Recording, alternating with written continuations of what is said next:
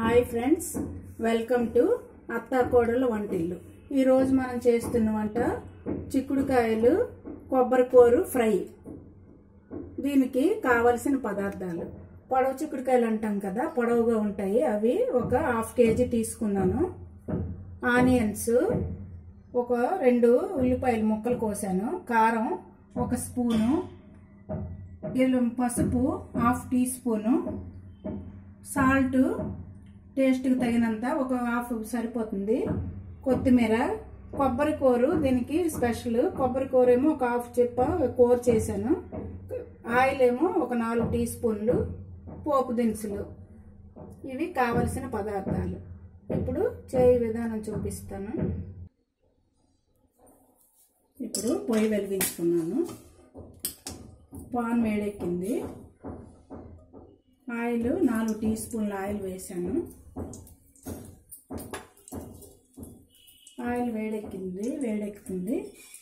ఇప్పుడు పోపు దినుసులు.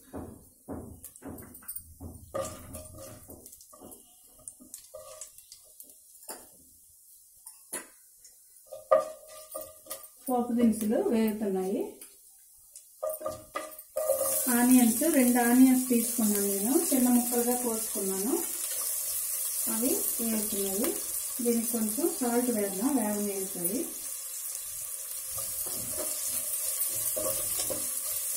ఆనియన్స్ వేగుతున్నప్పుడే మనం కొంచెం పసుపు కూడా హాఫ్ టీ స్పూన్ వేద్దాం. ఆయిల్లో పసుపు కలుస్తుంది. ఒక పసుపుకే ఆయిల్లోని వాటర్లోని కలిసే గుణం ఉంటుంది. పసుపు వల్ల మనకి యాంటీబయాటిక్గా పనిచేస్తుంది పసుపు. అందుకే మనం అన్ని వంటల్లో కూడా పసుపుని వాడుతూ ఉంటాము. ఆనియన్స్ వేగిపోయి మనం ఇందులో ఎక్కువ ఇంగ్రీడియంట్స్ అయితే వేయట్లేదు. కానీ ఈ చిక్కుడుకాయలు చాలా టేస్ట్గా ఉంటుంది. చిక్కుడుకాయ కొబ్బరికాయ ఫ్రై కదా చాలా టేస్ట్ ఉంటుంది.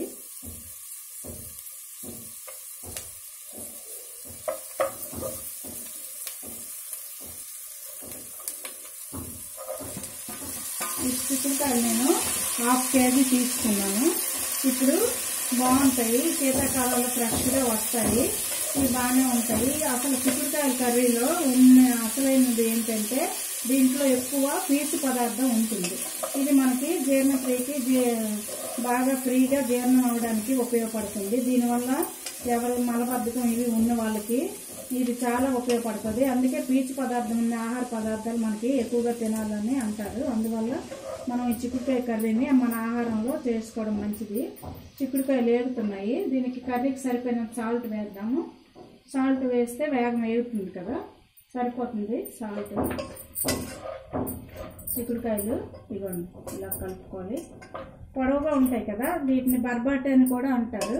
ఆ చిక్కుడుకాయలు ఇవి వేగుతున్నాయి. ఇవి వేగుతూ ఉంటే కొంచెం మనం మూత పెడదాము ఒక పది నిమిషాలు మగ్గితే అప్పుడు మళ్ళీ చూద్దాము. మూత పెట్టి ఒక పది నిమిషాలు ఇలా వేగిద్దాం.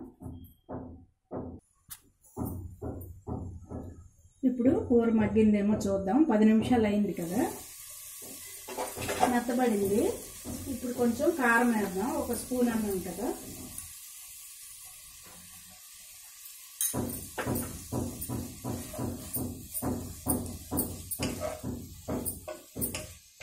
చిక్కుడుకాయలు బాగా వేగాయి.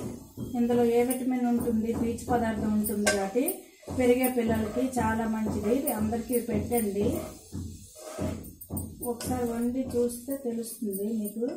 కర్రీ ఇవ్వండి. కారం వేసాం కదా రెండు నిమిషాలు అయింది. రెడీ అవుతుంది కర్రీ.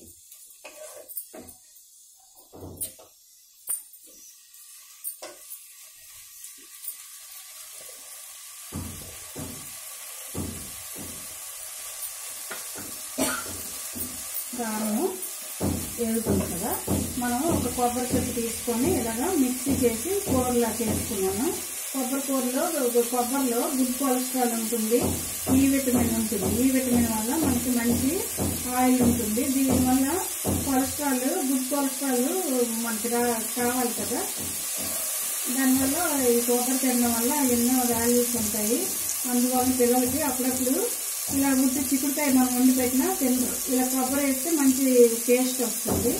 అందువల్ల ఇలా కొబ్బరి కోరు చేసి ఇలా వేయండి.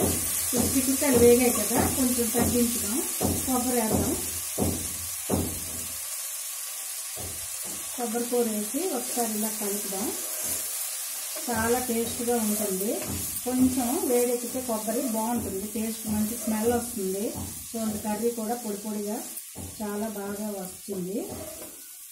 ఒకసారి ట్రై చేసి చూడండి. ఈ వీడియో మీకు నచ్చినట్లయితే షేర్ చేయండి లైక్ చేయండి సబ్స్క్రైబ్ చేసుకోండి. ఇది చాలా బాగుంటుంది వెరైటీగా ఉంటుంది. కర్రీ రెడీ అవుతుంది అయింది కదా. ఇప్పుడు మనం డిష్ అవుట్ చేసుకుందాం.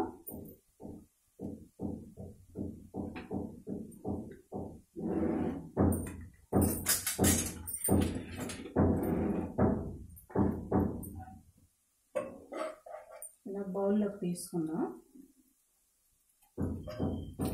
కట్టి పొయ్యి ఆఫ్ చేశాను బౌల్లోకి. చాలా ఎంత బాగుందంటే స్మెల్. చాలా బాగా వస్తుంది. కొబ్బరి వేసాం కదా.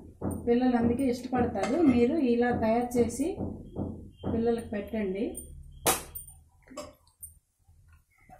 పెట్టి కొంచెం కొత్తిమీర వేసుకుందాం మీదని. కొత్తిమీర వేద్దాం. కొబ్బరి వేస్తున్నాం ముందు.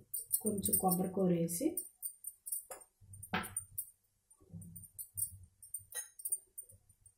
కొత్తిమీర పెట్టుకుందాం.